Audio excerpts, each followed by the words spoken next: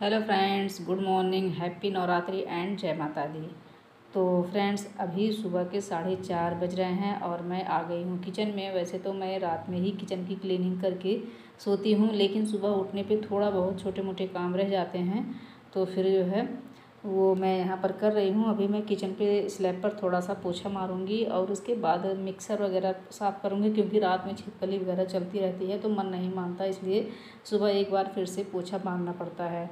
तो अभी स्लैब साफ़ करने के बाद मिक्सर वगैरह साफ़ करने के बाद फिर मैं नीचे शुरू करूँगी झाड़ू वगैरह लगाने के लिए। और झाड़ू पोछा करके, और आज नवरात्र का पहला दिन है तो मैंने सोचा कि माता जी की पूजा शुरू करने से पहले मैं घर के, पूरे घर की क्लीनिंग पहले अच्छे से कर लेती हूँ। इसी वजह से मैं थोड़ा इसी वजह से क्या, मैं रोज़ ही जल्दी उठती हूँ, लेकिन जो है फिर तो अभी मैं जो है यहाँ पर लगाने जा रही हूँ पोछा। झाड़ू मैंने चारों तरफ़ लगा लिया है। झाड़ू लगाने के बाद फिर अभी मैं चल रही हूँ यहाँ पर पोछा लगाने के लिए और अच्छे से चारों तरफ़ अंदर बाहर पूरा साफ़ सूफ करके फिर मैं बच्चों के लिए ब्रेकफास्ट की तैयारी करूँगी। वैसे तो अगर व्रत ना रखना होता तो फिर मैं नहाने के बाद ही ब्रेकफास्ट की तैयारी करती मतलब ब्रेकफास्ट बनाती। लेकिन आज मुझे हेयर वॉश करना है, व्रत रखना है तो थोड़ा अच्छे से नहाना है। इस वजह से मैं ब्रेकफास्ट बच्चों के लिए तैयार करके फिर जो है नहाऊँगी। क्योंकि बच्चों को अगर मैं नहाने लग गई तो फिर उसके बाद होगा कि पूजा पाठ कर लूँ तो पूजा पाठ करने में ही एक घंटे का समय चला जाता है। और नहाने के बाद अगर आप पूजा पाठ ना कीजिए तो फिर जैसे मन आधा आधा किचन में आधा यहाँ पूजा पाठ में लगा रहता है। तो इसी वजह से मैंने जो है, सोचा कि ब्रेक ब्रेकफास्ट बना देती हूँ बच्चे जो है, क्योंकि बच्चों का भी फास्ट है और उनको जाना है कोचिंग तो अगर मैं नहाने लग गई तो फिर काफ़ी लेट हो जाएगा उन लोगों को। तो इसी वजह से मैंने आज जो है पहले ब्रेकफास्ट बनाने का प्लानिंग किया कि ब्रेकफास्ट बना के उसके बाद ही नहाऊँगी।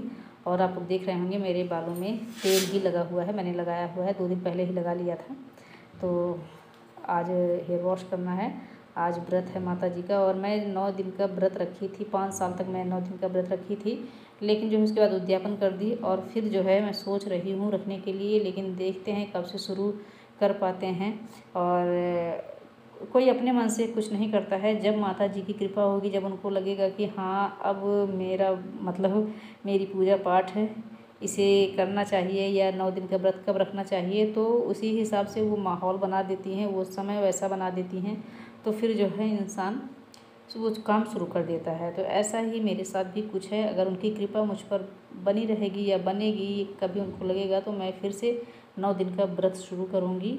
और मुझे बहुत अच्छा लगता है जैसे पूजा पाठ करना, व्रत वगैरह रखना, या किसी भी तरह का मैं अपनी कोशिश, में हर तरह मतलब बहुत कोशिश करती हूँ, मैं जितना कर पाती हूँ उतना करती भी हूँ।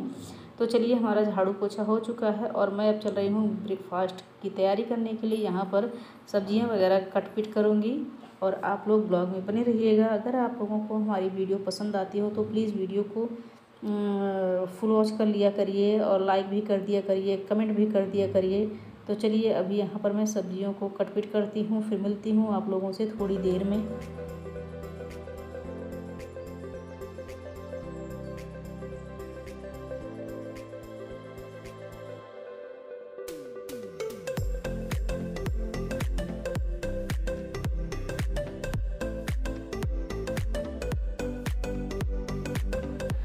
अभी मैं यहीं किचन में ही बैठकर सारी सब्जियों को कट पिट कर रही हूँ और मुझे नीचे बैठकर काम करना बहुत अच्छा लगता है। मतलब जैसे फ़र्श ठंडी ठंडी सी लगती है, चाहे और ये तो गर्मी है मान लीजिए, लेकिन ठंडी में भी मैं नीचे ही बैठकर काम करती हूँ। मुझे नीचे बैठकर काम करने में बहुत जैसे कंफर्टेबल सा लगता है, महसूस होता है। तो इसी वजह से मैं नीचे ही बैठकर खाना भी खाती हूँ, नीचे ही बैठकर और मैंने आज तक कभी बिस्तर पे मतलब बाई चांस कभी भले ही मैंने बिस्तर पे खाना खा लिया हो, वरना मैं कभी ना तो बिस्तर पर खाना खाई हूँ और ना ही मतलब जैसे मैं हमेशा नीचे ही बैठकर खाना भी खाऊँगी, क्योंकि ये ऐसा लगता है कि नीचे बैठ के ना बहुत आराम से सब कुछ काम होता है। तो मैं नीचे ही बैठ सारा काम करती हूँ और उसके बाद जो है और मैं साफ़ सफ़ाई भी मतलब फ़र्श हमारी बहुत साफ़ सुथरा रहती है।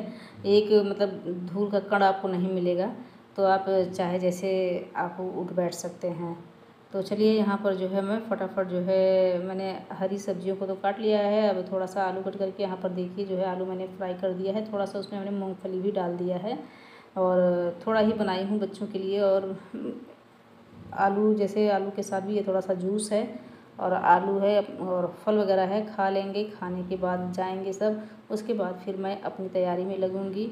तो बच्चे अभी खाने वाने के बाद जो है चले गए हैं और मैं यहाँ पर किचन क्योंकि ब्रेकफास्ट बनाते समय किचन थोड़ा गंदा हो ही जाता है। तो अभी मैं यहाँ पर लग गई हूँ किचन की साफ़ सफ़ाई करने के लिए। किचन की साफ़ सफ़ाई करने के बाद फिर पूजा की भी मैंने तैयारी कर ली है। और देखिए अभी मैं नहा के आ चुकी हूँ और मैंने अपना हेयर वॉश भी कर लिया है।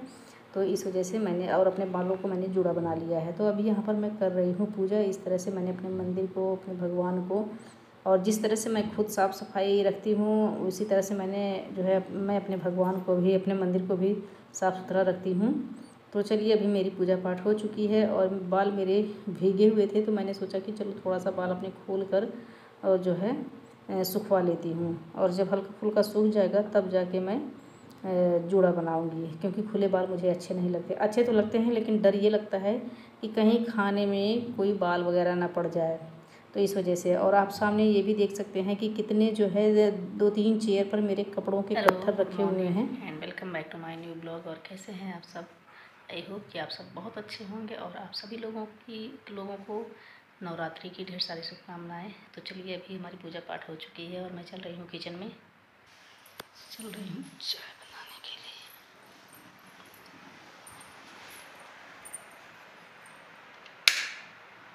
तो अभी मैं आ चुकी हूँ किचन में और यहाँ पर मैं बनाने जा रही हूँ अपने लिए चाय और डेली तो मैं जो है मॉर्निंग में ही चाय एक बार बना के पी लेती हूँ। मैं जब उठती हूँ तो सबसे पहले गुनगुना पानी दो गिलास और दो कप चाय बनाती हूँ और चाय पीने के बाद फिर उसके बाद मैं काम धाम में काम धाम को शुरू करती हूँ।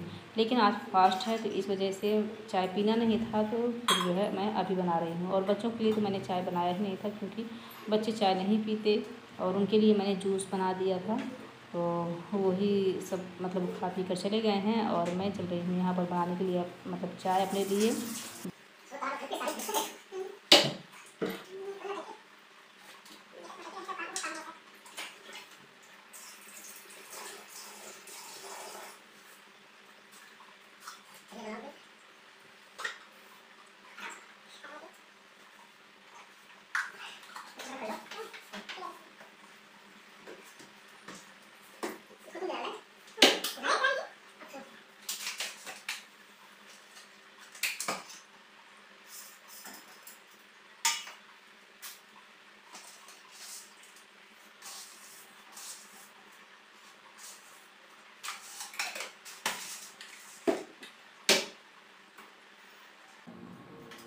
तो यहाँ पर चाय हमारी बॉयल हो रही है और मैं अभी डाल देती हूँ अदरक और जो है अब गर्मी का समय आ गया है तो थोड़ी ही अदरक डालूँगी क्योंकि गर्मी में अदरक नुकसान करती है।